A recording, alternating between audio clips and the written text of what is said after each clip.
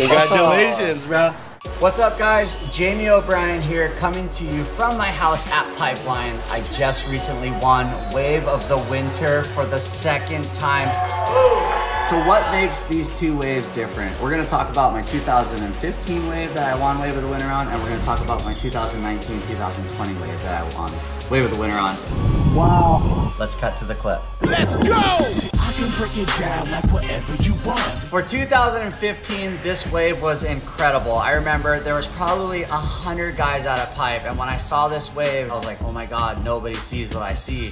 So here I'm starting to paddle. I'm just about to start to get up. I'm trying to think what lines I'm gonna actually take on this wave. So as I drop in on this wave, I'm looking up at the lip line thinking, oh, I'm pretty deep right here. So I'm gonna have to pivot all my weight on that front foot and get moving. So as I get to the bottom, I, I release my hand off the rail and I do this big backside pump, boom, and set my line. I mean, look at this section and this line in front of me. I'm just gunning for the shoulder as hard as I could. So as I pull up the first pump, I set my line, I'm like, okay, I'm really deep. So I do another pump and then this wave, I'm like right on the foam ball on the cusp of like not making the wave. And I remember at that point, I was like, oh my God, the wave backdraft where the spit goes in before it goes out and it just spit once. And I was like, oh my God, what's going on in here? I just couldn't see anything for about like three or four seconds. So look at the spit. It was a huge first spit and I'm still in the barrel. And then it's double spits. And then next thing you know, I just came flying out of the tube. I was like, oh my God, what just happened? It was insane. And I remember like kind of just kicking out and like really like disbelief, like, wow, did I really make that wave? When I got to the beach, my friends were high-fiving me. They were psyching. They were like, oh my God, that was like wave of the winter. And I was like, no way. Yeah. He's sick. yeah. Look at that. I was psyched to put one on the map right there. And let's break down the next wave. Growing up here on the North Shore of Oahu, it was always like, oh, who who got wave of the winter? It wasn't like you got a check and, and they had this big award ceremony. People just kind of knew who won wave of the winter at the end of the year. And, and so now to have it being a contest and it's just icing on the cake. Let's cut to the clip. You're a barbarian, a savage. 2019-2020 barrel of the year at Pipeline Wave of the Winter. This wave was absolutely incredible. First off, I saw the set stacking out the back and I was like, oh my God, this is like the ideal wave I wanna catch at Pipeline. Check this out. I'm just barely getting over the ledge. Guys are paddling over the top of this wave. I'm thinking right here, this is gonna be a late, late wave. There's a boil right here, right below us. And I'm like, oh my God, I'm gonna run straight over the boil. You generally try not to run over the boil because it's this water disturbance and it could hit your fins and send you any which way. You might not go left, you might go straight over the fall. I made it over the boil, but it gave me a little bobble. I kind of like leaned forward right here. You could see on my hand. I'm grabbing rail really tight. I'm like thinking at this moment, like, I don't want to let go of this rail.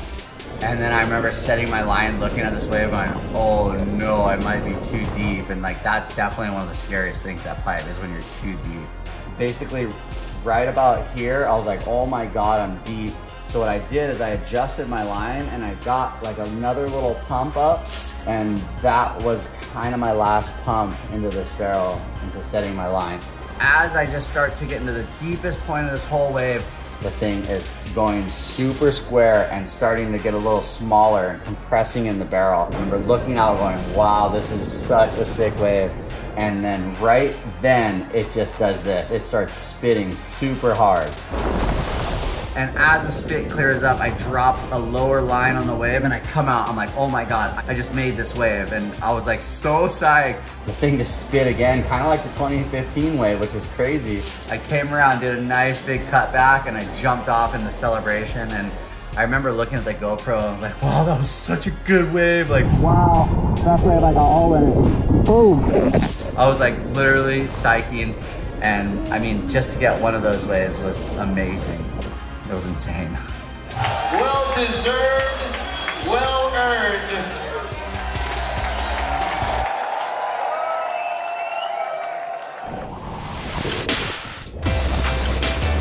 The difference is I feel like the wave from 2019 is a little bit bigger and it was a pretty like long drawn out wave and it had that big X factor, that big spit. The drop was pretty late. I felt like 2019 wave, 80% I was gonna make it the whole time until there was like this one point where I'm like, I might not make it. The wave in 2015 was a little bit smaller, but it was like pedal to the metal the whole time. So I did these like huge pumps, like no hand pumps inside the barrel, and the thing was like spitting, I was on the foam ball. So that's your breakdown on the two waves and how different they were from each other. It's priceless. Way of the winner, first time, two-time winner. It's like it's a crazy time. It doesn't stop now. This is just the beginning for me, and it's gonna take me until I'm so old just sitting here watching it. Maybe I'll master it when I'm like 80. I'm just like sitting on the porch, like, "What's up, Groms?"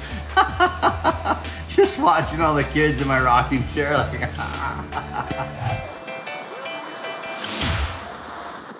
Oh my god, what's going on in here?